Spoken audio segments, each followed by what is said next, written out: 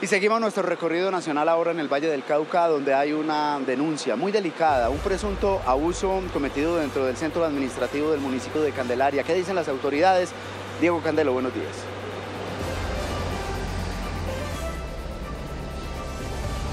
Juan Fernando, buenos días. Pues mire, es lamentable lo que ocurrió ahí en Candelaria, pues se trata de una mujer que además sería funcionaria de la misma alcaldía. El agresor sería además un asesor de despacho que de acuerdo a lo que dice la alcaldesa de ese municipio ya no está en funciones, solicitó la renuncia de esta persona. Ocurrió el caso en medio de las ferias de ese municipio, al interior de la administración municipal, lo que enciende las alarmas sobre este lamentable caso.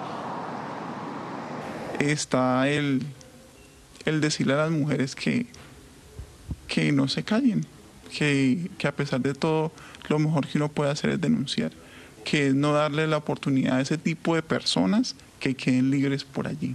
Esa persona ya no pertenece a la administración municipal, eh, se solicitó pedí que se abriera un proceso disciplinario, el cual está en curso, pero además de eso se le solicitó la renuncia, la cual él presentó y de inmediato se aceptó y se hizo pues todo lo pertinente.